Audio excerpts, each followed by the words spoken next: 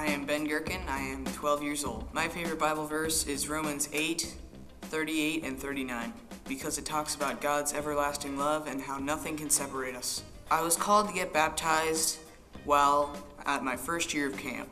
It was the first year and definitely the most spiritually lading in my life. Being a Christian to me means that God is with you, He's always with you, and that you should do the right thing to help others make the decision to become Christians themselves. For I am convinced that neither death nor life, ne- neither angels nor demons, neither the present nor the future, for any powers, neither height nor depth, nor anything else in all creation will be able to separate us from the love of God that is in Christ Jesus our Lord.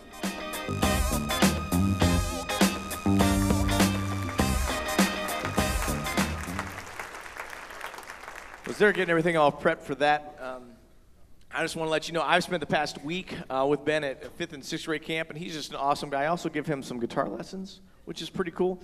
And um, I've gotten to know him a lot more over the past few years. Um, and he's just an awesome, awesome kid. Has been wanting to make this decision for a while. Want to make sure everything was all set. And um, so, without further ado, here's everything.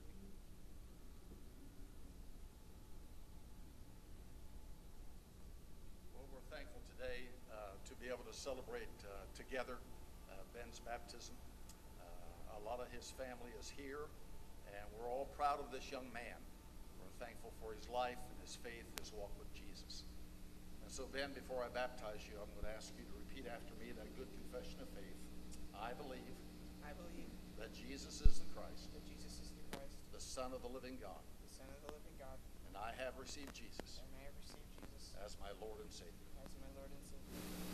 Upon the confession of your faith that Jesus is the Christ, you're now being baptized in the name of the Father, the Son, and the Holy Spirit.